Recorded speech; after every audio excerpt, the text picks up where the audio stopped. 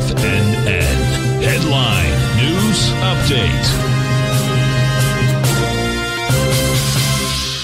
Good afternoon, folks. Steve Rhodes coming to you live from the shores of Delray Beach, Florida.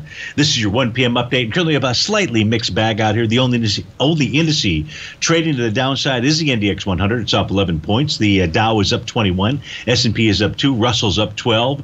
Semis are up two points. Trend is up 230. Uh, UPS having a big day, up 28 points, 14% to the upside out there.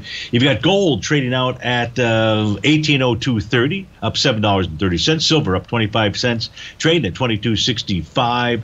And the 30 uh, year Treasury is down at 155.09. That is off 11 ticks. Let's go take a look at our nine panel market update chart. We begin by taking a look at the ES Mini. Here's what we know we know that price is trading above the center of its bullish structure daily profile.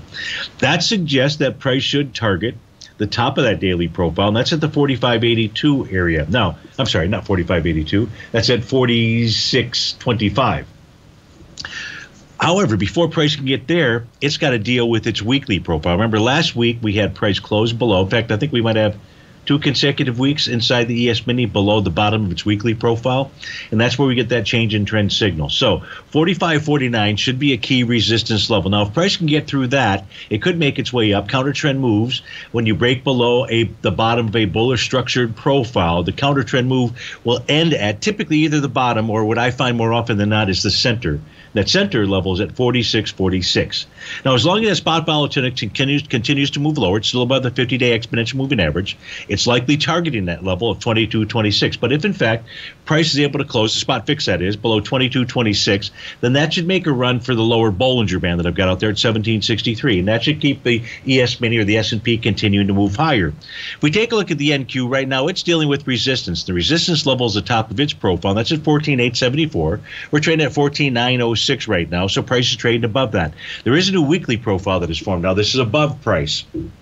This profile will not be confirmed until Sunday, but at 102 in the afternoon, it is a valid profile. And this suggests resistance is in between the range of 15182 to 15478. US dollar index has got a TD9 count top, and anytime you get a topping signal, that just suggests that price should pull back and test support. That's exactly what the US dollar index has done as long as price holds 9626 Basically, the signal is neutral. Gold testing and rejecting the bottom of its profile. That's not what uh, gold wants to see, nor silver. Folks, stay tuned for the Trader's Edge show. We'll be back in just a few. If you're off to start through Tuesday, have it for